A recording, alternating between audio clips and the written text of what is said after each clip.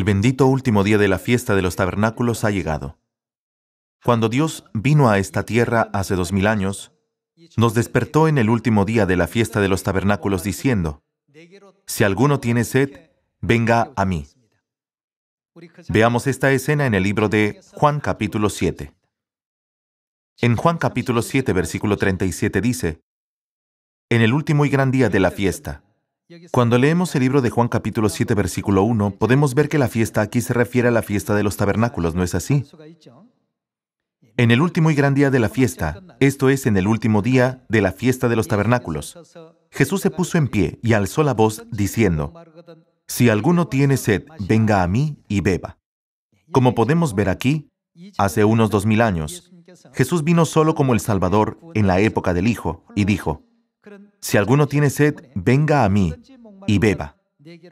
Él dijo, venga a mí. En esta última época, la época del Espíritu Santo, no clama el mismo mensaje solo. ¿Quién más clama con él? Según Apocalipsis capítulo 22 versículo 17, el Espíritu y la esposa son los que claman diciendo, si alguno tiene sed, venga.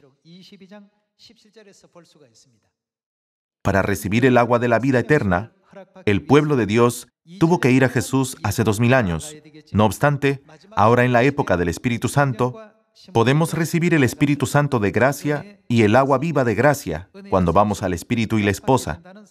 Esto es lo que Dios nos enseña a través de Juan capítulo 7 y Apocalipsis capítulo 22. Continuemos con el versículo 38. El que cree en mí, como dice la Escritura, de su interior correrán ríos de agua viva. Esto dijo del Espíritu que habían de recibir los que creyesen en Él. Aquí, Jesús nos dio la palabra de la promesa. El que cree en mí, de su interior correrá el agua viva. Veamos la misma escena en el libro de Apocalipsis capítulo 22. En el capítulo 22, versículo 17 dice, y el espíritu y la esposa dicen ven. Y el que oye diga ven. Y el que tiene sed, venga. Y el que quiera, tome del agua de la vida gratuitamente. Aquí está escrito, el espíritu y la esposa dicen ven.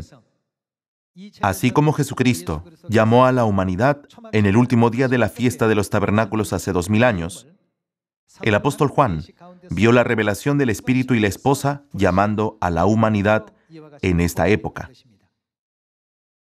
Por eso, el Padre Celestial dio esta enseñanza a los hijos celestiales. El requisito previo para recibir el Espíritu Santo es conocer a Dios. En la época del Hijo, debemos conocer y creer en Jesús.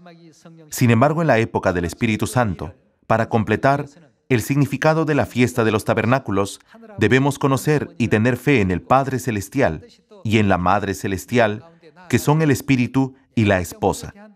Cuando nuestra fe en el Padre y la Madre alcance el 100%, todos seremos testigos de la asombrosa obra del Espíritu Santo, ¿no es así? Vayamos al libro de Juan, capítulo 20, y leamos el versículo 19. Cuando llegó la noche de aquel mismo día, el primero de la semana, estando las puertas cerradas en el lugar donde los discípulos estaban reunidos por miedo de los judíos, vino Jesús y puesto en medio, les dijo, paz a vosotros. Y cuando les hubo dicho esto, les mostró las manos y el costado. Y los discípulos se regocijaron viendo al Señor. Entonces Jesús les dijo otra vez, paz a vosotros. Como me envió el Padre, así también yo os envío. Y habiendo dicho esto, sopló y les dijo, recibid el Espíritu Santo. Hace unos dos mil años, Jesucristo, que es Dios, vino a esta tierra en la carne y dijo a los discípulos que estaban reunidos, recibid el Espíritu Santo. Con estas palabras, los discípulos fueron inspirados por el Espíritu Santo y al ser llenos de él, una gran obra tuvo lugar en ese momento no es diferente de esta época. Dios vino a esta tierra vistiendo el tabernáculo de la carne y dijo a sus hijos, recibid el Espíritu Santo.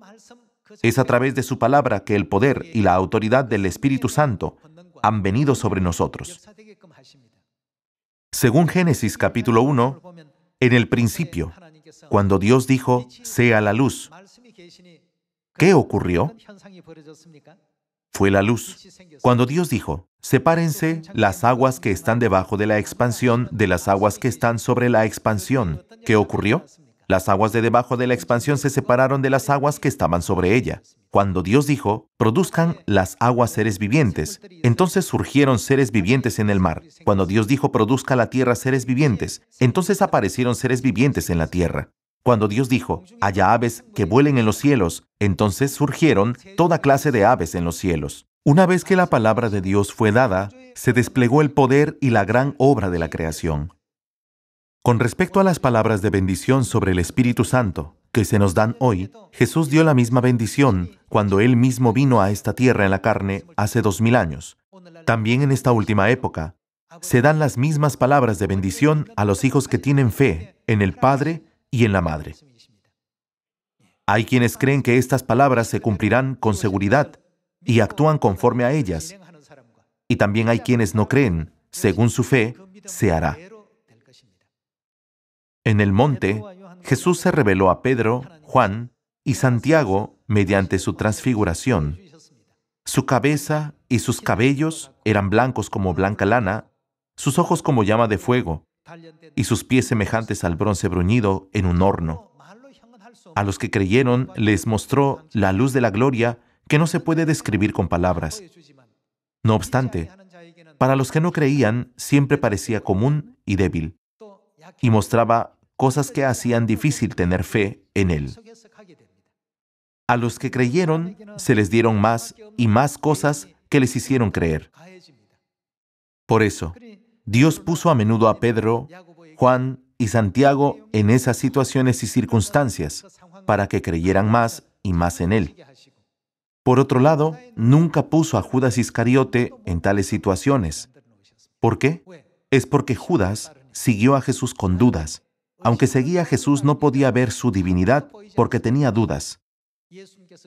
Jesús entregó las palabras de bendición a sus discípulos diciendo, recibid el Espíritu Santo. Sin embargo, si algún discípulo hubiera pensado, oh, esas son solo palabras, nunca habría podido experimentar el don del Espíritu Santo ni dar testimonio de él. No obstante, los discípulos que creyeron en esas palabras de bendición y llevaron a cabo su misión realizaron la obra milagrosa de salvar tres mil o cinco mil almas en un día. ¿No es así? Esto puede verse como el resultado de creer o no en Dios. Por eso Dios Padre dijo, conocer a Dios es el requisito más importante para recibir el Espíritu Santo. Esta es una de las razones por las que Dios enfatizó el hecho de que debemos conocer y comprender a Dios. Entonces, ¿cuál es el origen de la fiesta de los tabernáculos que celebramos hoy? Esta es una fiesta para conmemorar la construcción del tabernáculo, ¿no es así? El tabernáculo puede llamarse santuario. En esta época, puede describirse como un templo. En el templo, Dios ha escondido la importante verdad que nos hace conocer a Dios Padre y a Dios Madre. Veamos Hebreos capítulo 9, versículo 1. En el capítulo 9, versículo 1 dice, Ahora bien, aún el primer pacto tenía ordenanzas de culto y un santuario terrenal, porque el tabernáculo estaba dispuesto así. En la primera parte llamada el lugar santo, estaban el candelabro, la mesa y los panes de la proposición. Tras el segundo velo estaba la parte del tabernáculo llamada el lugar santísimo, el cual tenía un incensario de oro y el arca del pacto cubierta de oro por todas partes, en la que estaba una urna de oro que contenía el maná, la vara de Aarón que reverdeció y las tablas del pacto, y sobre ella los querubines de gloria que cubrían el propiciatorio, de las cuales cosas no se puede ahora hablar en detalle. Hebreos capítulo 9 explica sobre el santuario. En el santuario la primera parte, el lugar santo, y la segunda parte, el lugar santísimo, estaban conectadas como una sola. Una cortina separaba la primera parte de la segunda. En cuanto al lugar santo que estaba delante y el lugar santísimo que estaba detrás. Hay algo que Dios quiere enseñar a sus hijos en la época del Espíritu Santo. Podemos recibir el Espíritu Santo de la lluvia tardía solo cuando conocemos al Espíritu y a la esposa, que nos dan el agua de la vida a través de la fiesta de los tabernáculos. A continuación veamos el lugar santísimo en el libro de Éxodo capítulo 25, a través de la construcción del tabernáculo. Vayamos a Éxodo capítulo 25 versículo 9. Conforme a todo lo que yo te muestre, el diseño del tabernáculo y el diseño de todos sus utensilios, así lo haréis. Esto es lo que Dios ordenó. Continuemos con el versículo 10. Harán también un arca de madera de acacia cuya longitud será de dos codos y medio, su anchura de codo y medio y su altura de codo y medio. Y la cubrirás de oro puro por dentro y por fuera y harás sobre ella una cornisa de oro alrededor. Fundirás para ella cuatro anillos de oro que pondrás en sus cuatro esquinas, dos anillos a un lado de ella y dos anillos al otro lado. Harás unas varas de madera de acacia, las cuales cubrirás de oro, y meterás las varas por los anillos a los lados del arca. Para llevar el arca con ellas, las varas quedarán en los anillos del arca, no se quitarán de ella. Y pondrás en el arca el testimonio que yo te daré, y harás un propiciatorio de oro fino, cuya longitud será de dos codos y medio, y su anchura de codo y medio Harás también dos querubines de oro labrados a martillo, los harás en los dos extremos del propiciatorio. Harás pues un querubín en un extremo y un querubín en el otro extremo. De una pieza con el propiciatorio harás los querubines en sus dos extremos. Y los querubines extenderán por encima las alas, cubriendo con sus alas el propiciatorio sus rostros el uno enfrente del otro, mirando al propiciatorio, los rostros de los querubines. Y pondrás el propiciatorio encima del arca, y en el arca pondrás el testimonio que yo te daré. Y de allí me declararé a ti y hablaré contigo de sobre el propiciatorio, de entre los dos querubines que están sobre el arca del testimonio, todo lo que yo te mandare para los hijos de Israel. ¿Dónde se colocó el arca del pacto? No fue colocada en la primera parte, el lugar santo. Entonces, ¿dónde fue colocada? Fue colocada en el lugar santísimo. ¿Cómo es el lugar santísimo? Con respecto a esto, veamos las enseñanzas de Primero de Reyes, capítulo 6, versículo 16. En el capítulo 6, versículo 16 dice, Asimismo hizo al final de la casa un edificio de 20 codos de tablas de cedro desde el suelo hasta lo más alto, Así hizo en la casa un aposento que es el lugar santísimo. La casa, esto es, el templo de adelante, tenía cuarenta codos, y la casa estaba cubierta de cedro por dentro, y tenía talladuras de calabazas silvestres y de botones de flores. Todo era cedro, ninguna piedra se veía. Y adornó el lugar santísimo por dentro en medio de la casa, para poner allí el arca del pacto de Jehová, el lugar santísimo estaba en la parte de adentro, el cual tenía veinte codos de largo, veinte de ancho y veinte de altura, y lo cubrió de oro purísimo. Asimismo cubrió de oro el altar de cedro. Aquí, ¿a qué se refiere el edificio al final de la casa? Se refiere al lugar santísimo, ¿no es así? Veamos las dimensiones del lugar santísimo. Su longitud es de 20 codos. Su anchura es de 20 codos. Y su altura es de 20 codos. Las dimensiones son las mismas. ¿Qué lugar tiene el mismo largo, ancho y alto? Es el lugar santísimo del tabernáculo. ¿Cómo se cumplirá esta profecía? Esta profecía se cumplirá a través de Jerusalén que desciende del cielo. El lugar santísimo era un tabernáculo construido en esta tierra según lo que hay en el cielo. ¿No es así? Dios dijo, haz todas las cosas conforme al modelo que se te ha mostrado en el monte. Cuando se construyó tal y como se mostró, el lugar santísimo tenía la misma longitud, anchura y altura. El tabernáculo no fue diseñado por Moisés. Cuando él lo construyó según lo que Dios le mostró, la longitud, la anchura y la altura eran iguales. Igualmente, cuando el lugar santísimo se construyó en los tiempos de Salomón, la longitud, la anchura y la altura eran las mismas. Entonces, ¿por qué Dios diseñó el lugar santísimo de esta manera? Celebrar la fiesta no fue la única razón por la que Dios nos dio la fiesta de los tabernáculos.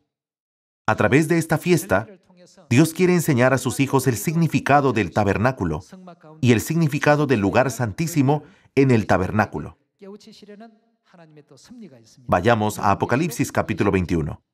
En el capítulo 21, versículo 9 dice lo siguiente. Vino entonces a mí uno de los siete ángeles que tenían las siete copas, llenas de las siete plagas postreras, y habló conmigo diciendo, Ven acá, yo te mostraré la desposada, la esposa del Cordero. ¿Qué da la esposa según Apocalipsis capítulo 22, versículo 17? Ella da el agua de la vida, es decir, el agua viva. En la época del Espíritu Santo, oímos la voz que nos llama, ven. ¿No necesitamos saber quién es ella para acudir a ella? Está escrito, el que cree en mí, de su interior correrán ríos de agua viva. ¿No necesitamos saber quién es ella para creer en ella? Necesitamos saber quién es ella para encontrarla. Por eso hace dos mil años, Dios dio a conocer a sus hijos sobre la Madre Celestial Jerusalén, que es la realidad del lugar santísimo, a través del asunto del santuario. Leamos de nuevo el versículo 9. Vino entonces a mí uno de los siete ángeles que tenían las siete copas llenas de las siete plagas postreras, y habló conmigo diciendo, Ven acá, yo te mostraré la desposada, la esposa del Cordero. Y me llevó en el espíritu a un monte grande y alto, y me mostró, ¿Qué le mostró el ángel? La gran ciudad santa de Jerusalén, que descendía del cielo de Dios, teniendo la gloria de Dios. Y su fulgor era semejante al de una piedra preciosísima como piedra de jaspe, diáfana como el cristal. Tenía un muro grande y alto, con doce puertas, y en las puertas doce ángeles, y nombres inscritos, que son los de las doce tribus de los hijos de Israel. Al oriente tres puertas, al norte tres puertas, al sur tres puertas, al occidente tres puertas, y el muro de la ciudad tenía doce cimientos, y sobre ellos los doce nombres de los doce apóstoles del Cordero. El que hablaba conmigo tenía una caña de medir de oro, para medir la ciudad, sus puertas y su muro. La ciudad se halla establecida en cuadro. ¿Y cómo era su longitud? Su longitud es igual a su anchura. Y él midió la ciudad con la caña, doce mil estadios la longitud, la altura y la anchura de ella, ¿cómo son? Son iguales. Al estudiar el santuario, ¿cuáles son las dimensiones del lugar santísimo, según Primero de Reyes, capítulo 6, versículo 18? La longitud, la altura y la anchura eran iguales. En Apocalipsis capítulo 21 está escrito que la longitud, la altura y la anchura de ella son iguales. Así, la Biblia describe que la longitud, la altura y la anchura de Jerusalén son iguales.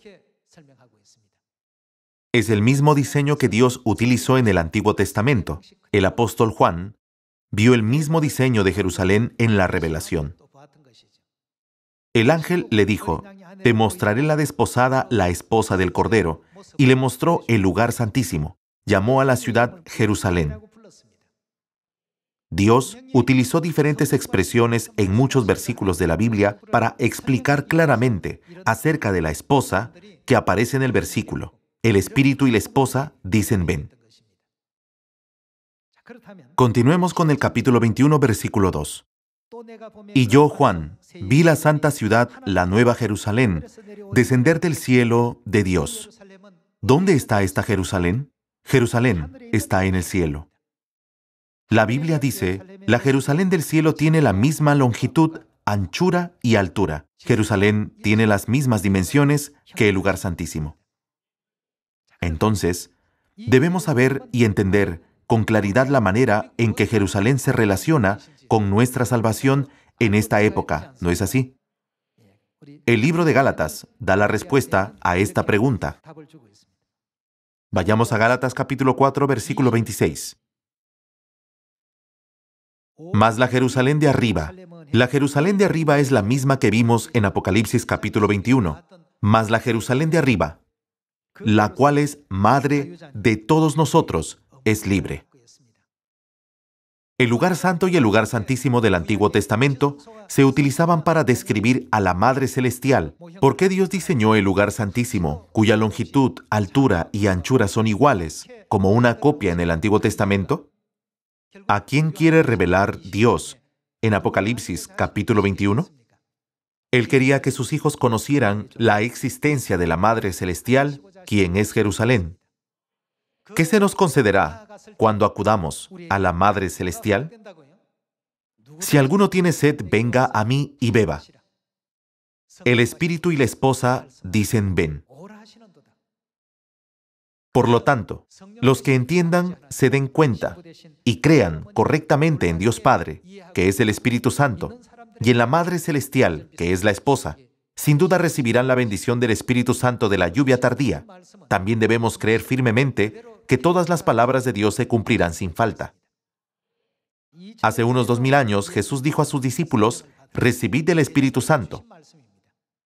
Los discípulos que creyeron en las palabras del Espíritu Santo recibieron el don del Espíritu Santo y desempeñaron un gran rol en la predicación del Evangelio. ¿No es así?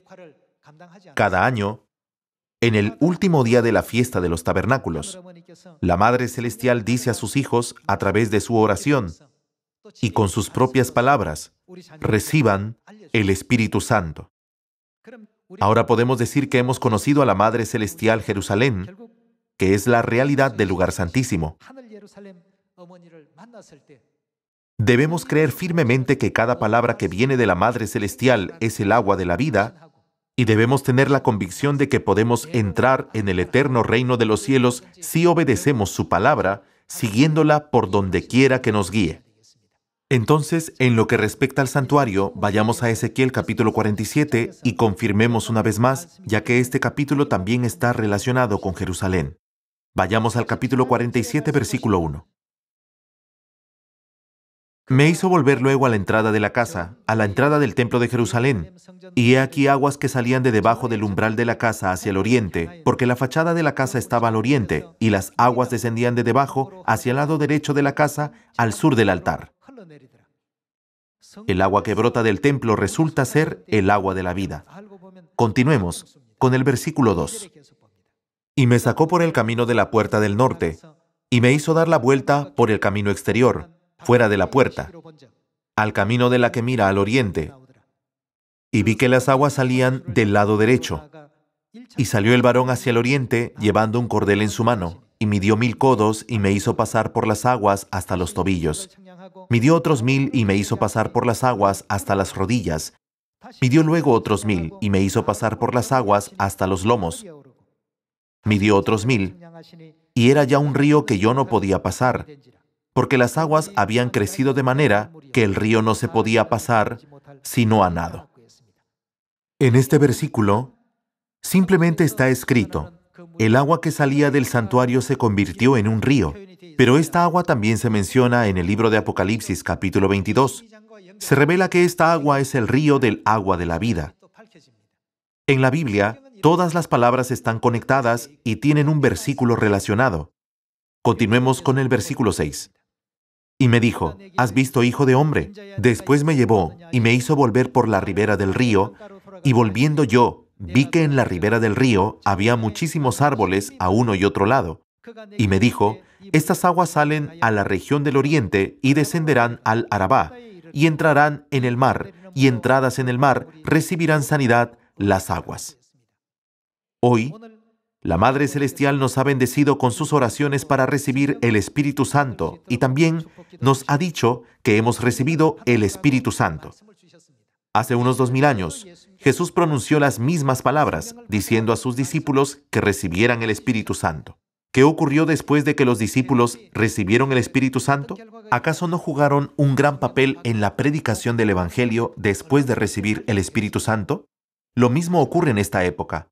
Hoy, Dios ha dado el Espíritu Santo lleno de gracia a todos los hijos de Sión de todo el mundo. En Ezequiel capítulo 47 se expresa de una manera en la que podemos entender el estado espiritual. Continuemos con el versículo 9 y toda alma viviente que nadare, por donde quiera que entraren estos dos ríos, vivirá, es decir, por donde quiera que fluya el río del agua de la vida. Ahora todas las criaturas vivirán. Ahora pueden vivir. Así que ahora debemos entregar el agua de la vida para que puedan vivir, ya que la Madre Celestial permitió que la obra gloriosa tuviera lugar y abriera el camino del Evangelio.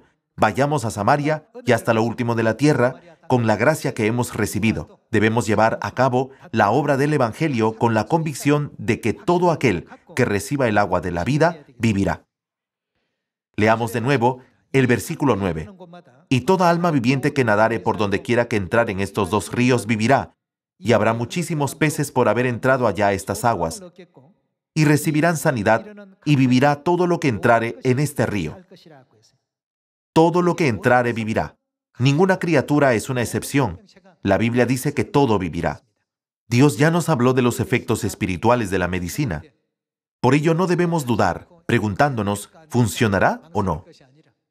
Donde quiera que haya una herida que deba ser curada, prediquemos sin demora la noticia de la Madre Celestial. Y vivirá todo lo que entrare en este río. Continuemos con el versículo 10. Y junto a él estarán los pescadores, y desde Engadi hasta en Eglaim será su tendedero de redes. Y por sus especies serán los peces tan numerosos como los peces del mar grande. Sus pantanos y sus lagunas no se sanearán, quedarán para salinas.